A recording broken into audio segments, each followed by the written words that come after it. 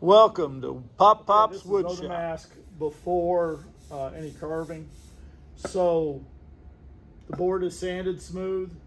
I applied the mask, carve it, paint it. see what So what I do is my process anyway. I use this brush after it's carved and I brush out all the findings that are left behind. Um, you know, sometimes they cut clean, but just not super clean. Here is the painted project. And now I'm gonna remove this mask, which is a piece of cake on the perimeter because it's cut.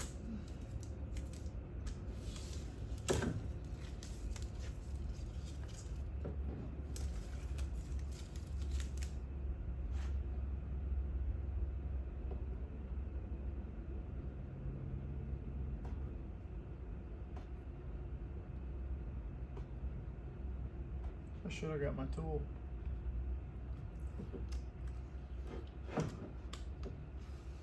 Okay, this is coming off much, much cleaner than the previous three. So, uh, apparently I found my niche here.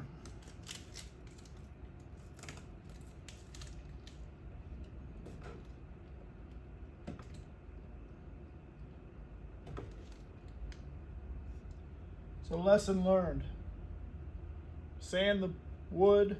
I sanded this down to uh, 240. Um, and then put your your mask on.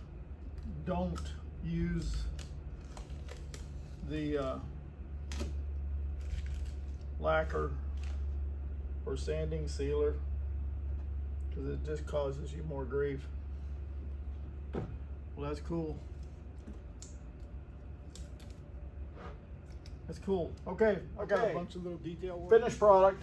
All four of them turned out real nice. Happy with all four. The soldier was the easiest to remove the mask.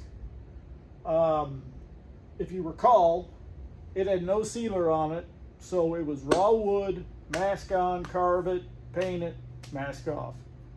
Worked out great. So that's the lesson learned right there. Um, the rest of them, I applied, I sanded them, I applied sealer, I put the mask on, I carved them, painted them, and then I had total grief getting the mask off. So, lesson learned. We'll take them to the show Saturday and see how we do. That's it.